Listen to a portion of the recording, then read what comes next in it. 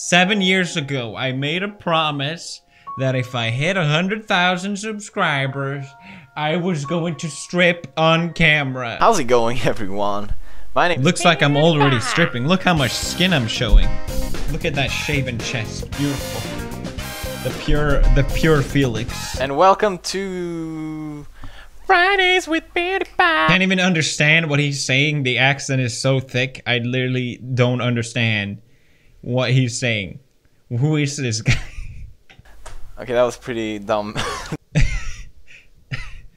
I will fight old PewDiePie any day. I thought I'll do these uh, vlogish sort of things at least once a week. Did I actually upload a two-minute Q&A?